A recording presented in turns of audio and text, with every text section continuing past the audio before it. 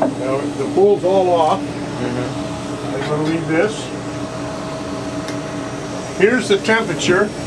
So all you gotta do, see that air? Yes. All you gotta do is push your screwdriver in and turn that up to whatever temperature you want. That's for the spa, Spa. Uh huh. the hot tub. Uh huh. And this here's for the pool. Uh huh. Same thing, just turn it up to whatever you want. What temperature is the best? I, I, I, mean, you, what, what I liked it at 80 go? 80. Yeah. For the pool for the pool. and spa. And spa, they recommend 102. It was too hot for me. I put 98. Uh huh. So you, you just you just you, you you'll you'll figure out what you want to do, eh?